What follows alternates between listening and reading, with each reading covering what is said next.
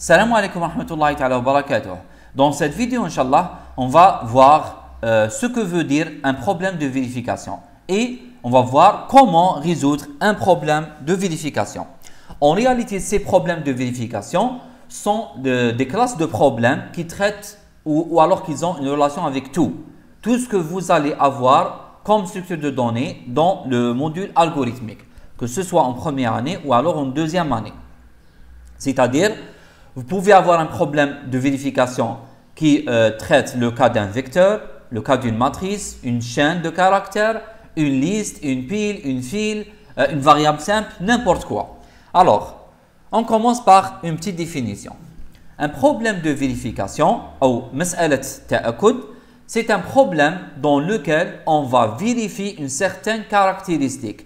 يعني عبارة عن مسألة من خلالها سيتم التأكد من صحة أو خطأ خاصية ما. Puis on répond par oui ou non.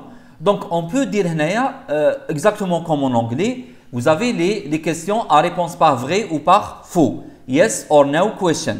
D'accord Alors, ce problème justement de vérification, vous allez vérifier une certaine caractéristique et vous allez à la fin répondre par oui, la caractéristique elle est vérifiée, non, la caractéristique elle n'est pas vérifiée. Je donne des exemples. Par exemple, on vous demande de vérifier si un nombre entier x est premier ou pas. يعني نتأكدوا من أنه عدد صحيح يكون أولي أو ليس أولي. Indiquer si le vecteur est trié dans l'ordre croissant ou non. يعني يقول لنا أو نقول هل يا ترى الجدول مرتب ترتيب تصاعدي أم لا؟ Afficher si une matrice, euh, si, pardon, une chaîne de caractères est palindrome ou pas. Déterminer si une matrice est stochastique ou non. Vérifier si un nombre entier est méchant ou pas. Alors, vous remarquez ici que vous avez, euh, on peut utiliser trois, euh, quatre, verbes qui euh, indiquent la vérification. Le verbe vérifier, indiquer, afficher et déterminer. D'accord? Et dans toutes les questions, vous allez trouver, c'est-à-dire la question, elle est sous la forme vérifier la caractéristique, est-ce qu'elle est euh, vérifier ou pas, ou alors ou non. Donc, c'est ce genre de questions qu'on va traiter dans ce document. Alors, comment résoudre un problème de vérification? Alors, tout problème de vérification peut être résolu par une des deux méthodes suivantes. Alors, vous avez deux méthodes. La méthode qui utilise le compteur, on va l'appeler la méthode du compteur. Et vous avez la méthode qui utilise une variable booléenne qu'on va appeler la méthode du flag. Flag, ça veut dire un petit drapeau. Donc, euh, par exemple, vous avez l'arbitre du touche dans un match de football. Donc, l'arbitre de touche euh, possède généralement un petit drapeau. D'accord? Alors, le drapeau, euh, il le met dans un état initial. D'accord? Et dès que l'arbitre constate qu'il y a une, une, faute, il lève le drapeau pour signaler qu'il y a un, une faute. D'accord? Donc, c'est à peu près ça l'astuce. Donc, on commence par une petite comparaison entre les deux méthodes. Alors, la méthode du compteur, elle utilise le compteur. Par contre, la méthode du flag, elle utilise une variable booléenne. Alors, la méthode du compteur, elle utilise la boucle pour, tandis que la méthode du flag, elle utilise la boucle tant que. On peut dire que la méthode du compteur, elle est généralement facile. Par contre, la méthode du flag, elle est moins facile, elle demande plus d'efforts. Dernier point. Euh, donc, malgré que la méthode du compteur, elle est facile, elle est par, euh, par c'est-à-dire, euh, Malheureusement, elle elle n'est pas optimale, elle n'est pas rapide. Par contre, la méthode du flag, c'est une méthode optimale, donc elle est rapide. Alors, commençons par la méthode du flag. Là, je vais citer, euh, c'est-à-dire la méthode de façon générale, comment travailler avec la méthode. Et ensuite, on va euh, introduire, ou alors on va utiliser la méthode euh, dans un exercice de la série. Alors, voici le détail de la, de la méthode. Vous avez trois étapes. La première étape, ce qu'on appelle initialisation de la variable booléenne. Alors, supposons que la variable booléenne, je vais la nommer V, d'accord? Alors, dans cette étape, je vais poser une hypothèse, noda euh, faradiya. Noda faradiya. Ça, comme vous le savez, une variable booléenne, elle peut euh, contenir soit la valeur vraie ou alors la valeur faux.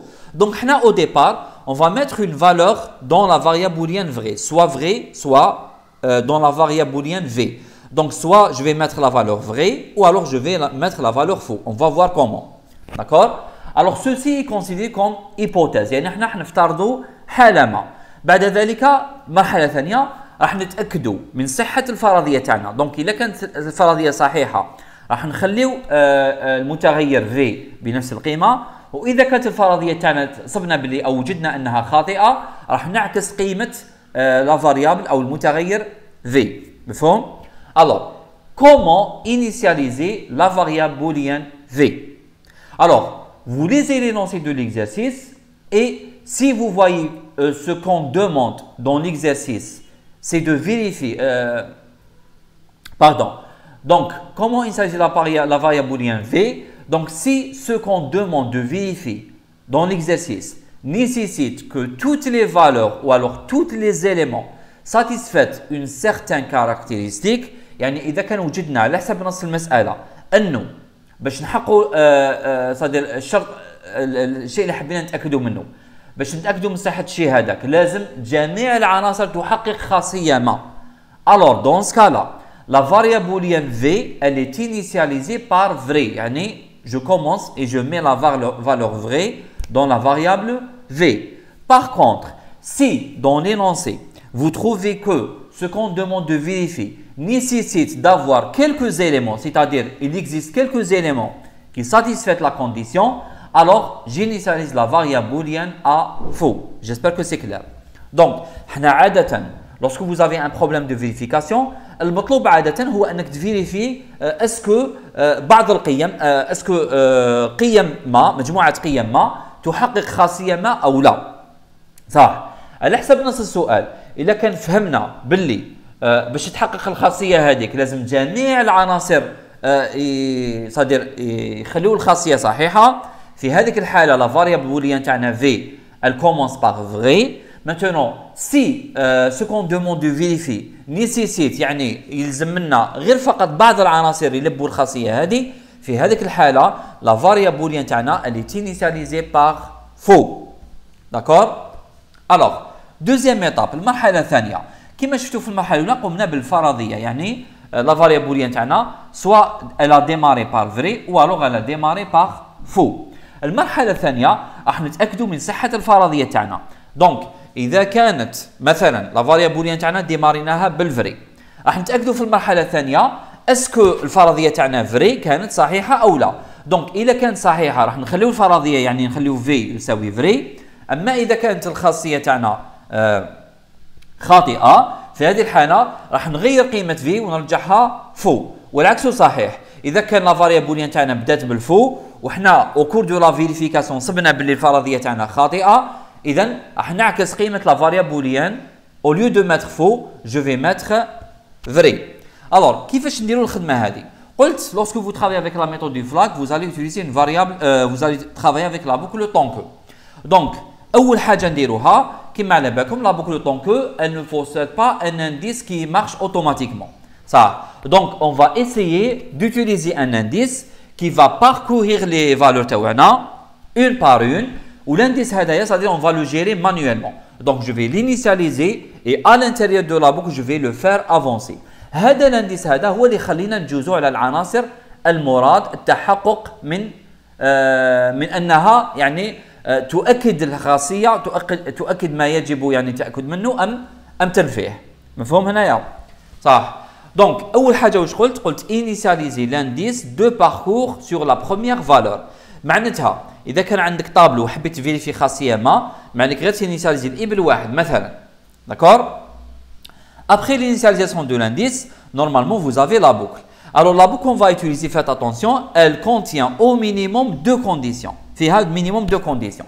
Alors, la première condition, elle a une relation avec l'indice. Donc, on coule la première partie tant que ce n'est pas la fin des valeurs. Maintenant, si je suis dans le cas d'un vecteur, donc tant que ce n'est pas la fin des valeurs, c'est-à-dire tant que ce n'est pas la fin du vecteur. Et comme dans le cas du vecteur, j'utilise un indice i qui parcourt tous les éléments du vecteur, donc lorsque i dépasse 1, on peut c'est la fin du vecteur. Et par conséquent, qu'est-ce que ça veut dire ce n'est pas la fin du vecteur? Euh, Ce n'est pas la fin des valeurs. Ça veut dire euh, i est encore inférieur ou égal à 1, c'est-à-dire n'a pas dépassé 1. Deuxième condition qu'on ajoute, avec le et bien sûr, c'est que la variable booléenne v, elle est égale à toujours sa valeur initiale. Donc, si vous avez initialisé la variable booléenne vrai, vous mettez v égale vrai. Et si vous avez initialisé la variable booléenne à faux, vous mettez v égale faux. Maintenant, à l'intérieur de la boucle, yani la boucle. عندنا دو كا الوغ اشاك فوا حنا راح نتستيو ليليمون تاعنا اسكو يساتيسفي لا كاركتيرستيك كون فو فيريفي أو با دونك اشاك فوا vous avez une condition si la valeur courante ou alors l'élément courant par exemple اذا كنا في طابلو نقولو سي تي دو اي Donc, c'est l'élément courant se contredit avec la valeur initiale de V. وش معناتها الحكاية الحكاية هذه؟ معناتها إذا كان صبنا العنصر هذاك الحالي صبنا بلي القيمة تاعو تتعارض مع الفرضية تاعنا. مثلا إحنا في الأول افترضنا أنه لا فاريابل بوليان ديماري بالفري وحنا صبنا باللي عنصر من الطابلو صادق اللي كونتر سيت ايبوتيز ضد الفرضية هذه. يعني يتناقض مع الفرضية تاعنا. يعني وكأنه يعطينا الإيحاء بأنه في ما لازمش يكون فري لازم يكون فو. دون سكالا إحنا واش نديرو؟ جوستومون on va inverser la valeur de V. Donc si la valeur de V au départ quand vrai, je vais l'inverser et mettre faux. Et si elle, était, euh, elle a commencé par faux, je vais l'inverser et mettre vrai. Ça c'est dans le cas de si. Maintenant sinon, sinon je la valeur courante ne se contredit pas avec la valeur initiale de, de V. معناتها العنصر الحالي اللي راح تفيريفيه حاليا تصيبوه باللي عنصر لا يتعارض مع الفرضيه. احنا واش نديروا في الحاله هذه؟ إذا كان عنصر واحد ما يتعارضش مع الفرضية هذه أو قابل بالفرضية هذه ما نقولوش بلي خلاص آه، جميع العناصر تقبل الفرضية هذه. راح نقولوا بلي هذا ما يق... هذا يقبل الفرضية. راح نقولوا بلي البقية مازالوا دونك واش نديروا حنايا؟ Il suffit d'avancer vers le prochain élément. يعني نافونسيو تاعنا l'indice تاعنا vers le prochain élément. D'accord? Donc avancer l'indice vers le prochain élément ou la prochaine valeur.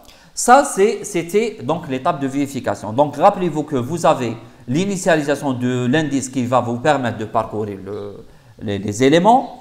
Ensuite, vous avez une boucle de temps qui contient au minimum deux conditions. La première condition a une relation avec l'indice de parcours et la deuxième condition dit que V est égal à la valeur initiale. À l'intérieur de la boucle, si vous trouvez un élément qui se contredit, يعني ما يتفاهمش أو ينقض الفرضية تاعنا اللي قمنا بها au départ lorsque j'ai initialisé V d'accord alors je vais inverser la valeur de V يعني نغير قيمة V اما اذا كان صبنا العنصر لا يتعارض مع الفرضيه تاعنا رايحين نافونسيو فقط لانديس مثلا اي ريسوا اي بلس 1 d'accord la dernière étape donc la dernière étape juste après l'étape de vérification normalement vous devez avoir la variable booléenne comme vrai euh, V soit vous allez la trouver à vrai ou alors vous allez la trouver à faux et selon les valeurs ou la, valeur de la variable booléenne V, vous allez afficher la décision adéquate. Donc, vous avez deux cas. Donc, si V égale à vrai, euh, donc vous allez afficher, par exemple, que euh, les éléments ou alors le tableau satisfait la caractéristique. Sinon, vous allez afficher que les éléments ne satisfait pas la caractéristique. D'accord? Donc, tout ça, vous allez le voir à travers l'exercice, un exercice d'application de la série de TD. Passons maintenant à la méthode du compteur. Alors la méthode du compteur également, elle possède trois étapes. Vous avez l'initialisation du compteur, vous avez le calcul du compteur et vous avez l'affichage de la décision en fonction de la valeur du compteur. Alors, première étape. Première étape, vous allez juste initialiser le compteur à 0. Deuxième étape, vous allez calculer la valeur du compteur. Dans ce cas-là, je l'ai appelé CPT.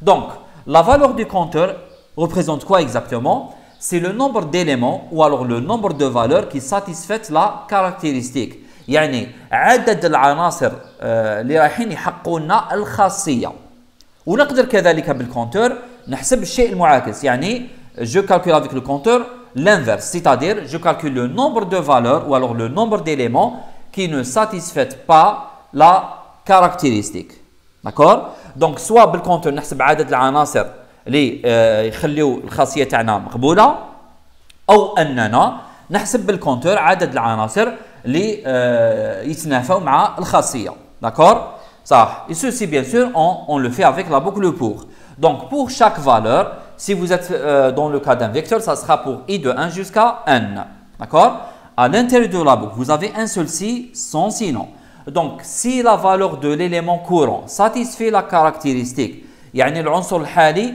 يحقق الخاصية أو في حالة أخرى نحسبوا عدد العناصر اللي ما يحققوش الخاصية يعني إذا كنا في حالة la valeur courante ne satisfait pas la caractéristique, vous allez juste incrémenter le compteur par 1. Donc, faites attention, soit vous allez calculer la chose qui, qui est en bleu, c'est-à-dire le nombre d'éléments qui ne satisfait pas la, la, caractéristique, ou alors vous allez calculer le nombre d'éléments qui satisfait la caractéristique qui est en, en violet. Alors, ça c'était la deuxième étape. La dernière étape, c'est exactement comme j'ai fait avec la méthode du flag, c'est la décision. En fonction de la valeur de CPT, vous allez afficher la décision adéquate. D'accord? Donc, vous allez déduire à partir du compteur, à la le compteur, est-ce que euh, les éléments satisfont la caractéristique ou alors ne satisfait pas la caractéristique. Alors, tout ça, vous allez le voir en détail et je crois que les choses vont être plus claires lorsque on va traiter l'exercice de la série de TD. Je crois que, c'est le cinquième. Donc avec l'exercice 5, Inch'Allah, vous allez comprendre ces deux méthodes parce qu'on va les appliquer. Alors avec ça, je termine. On se voit la prochaine vidéo.